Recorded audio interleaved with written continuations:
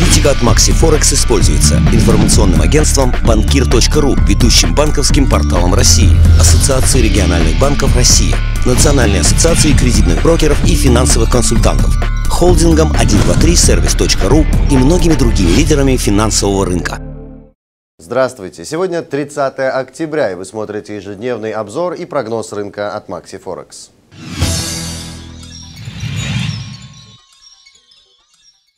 В начале новой недели единая валюта снова оказалась под давлением. Новые негативные данные из Испании по розничным продажам вынудили евро покинуть боковой диапазон предыдущей сессии, пробить ключевой уровень поддержки 1.29 и зафиксировать на снижении минимальный дневной уровень 1.2885. Слабые макроэкономические данные конца прошлой и начала новой недели продолжают укреплять доллар по всему спектру рынка. В этой ситуации, несмотря на усилия быков по евро начать восстановление, им удалось только удержать валюту от дальнейшего падения. На европейской сессии и далее до конца дня евро-доллар торговался в узком боковом диапазоне, ограниченном уровнями 1.2885, 1.2918.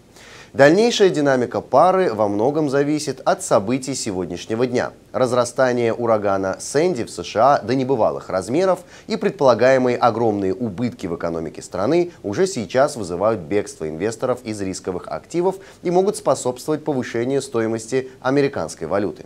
Тем не менее, пока валюта остается в диапазоне восходящей коррекции. Если ценовому движению пары удастся пробить на снижении минимальный уровень пятницы 1.2882, нисходящее движение продолжится.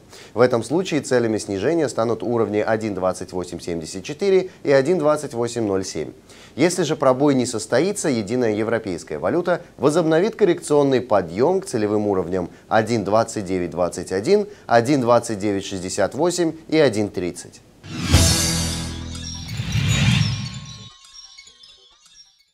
В октябре цены на жилье в Великобритании отметили четвертый месяц падения, что подтвердило низкую вероятность восстановления рынка недвижимости без устойчивого экономического роста. Рост кредитования жилищного строительства также оказался довольно вялым. В своем выступлении на прошлой неделе глава Банка Англии Мервин Кинг заявил, что процесс восстановления в стране протекает медленно и неуверенно. Это, в свою очередь, усилило спекуляции среди участников торговли о возможном увеличении Банком Англии программы финансового стимулирования экономики. Вероятность дополнительных финансовых вливаний вызвала негативную реакцию рынка и активизировала новые продажи британской валюты. На этом фоне фунт возобновил коррекционное снижение и к концу американской сессии зафиксировал откат в 61,8% Фибоначчи, сформировав дневной минимум на отметке 1,6006. В нашем прогнозе на вторник предполагаем попытку пары активизировать восходящую коррекцию и пробиться выше уровня дневного разворота 1,6042. Если это удастся, последует продолжение подъема к уровню 1.6060 и выше в направлении ключевого уровня сопротивления 1.61. Если же пробой не состоится и пара пробьет на снижении вчерашний минимум 1.6006, нисходящее движение продолжится. В этом случае целями движения станут уровни 1.5991 и 1.5977.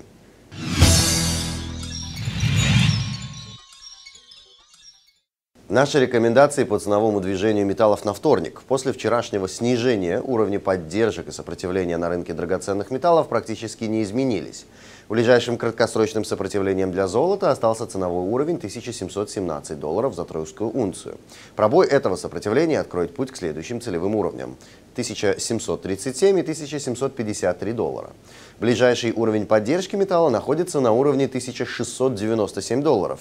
Если он будет пройден, возможно дальнейшее снижение к целевым уровням 1683 и 1662 доллара за унцию. Уровень сопротивления для серебра также не изменился и по-прежнему находится на отметке 32 доллара 40 центов за унцию.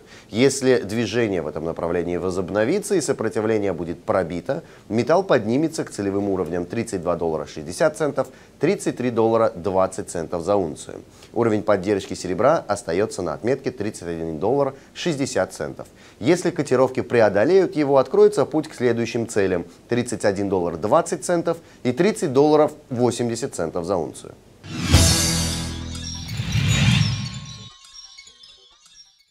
В экономическом календаре вторника Банк Японии опубликует решение по основной процентной ставке и комментарий к решению. Изменения здесь не планируется, норматив ставки будет сохранен на прежнем уровне менее 0,1%. Сегодня же состоится пресс-конференция руководителей Банка Японии. Австралия отчитается сегодня по объему продаж жилья на первичном рынке недвижимости за сентябрь. Великобритания опубликует объемы розничных продаж по данным Конфедерации британских промышленников за октябрь. Испания опубликует прирост объема ВВП за третий квартал, а в американской статистике будет опубликован индикатор потребительской уверенности за октябрь. Кроме того, сегодня состоится выступление главы Центрального Европейского банка Марио Драги. Более подробную информацию по движению валют на рынке смотрите на сайте maxiforex.ru в разделе «Прогнозы». Желаем вам удачных и прибыльных торгов на рынке Форекс. Аналитика от Maxi Forex используется. Информационным агентством банкир.ру, ведущим банковским порталом России, Ассоциацией региональных банков России, Национальной ассоциацией кредитных брокеров и финансовых консультантов, холдингом 123service.ru и многими другими лидерами финансового рынка.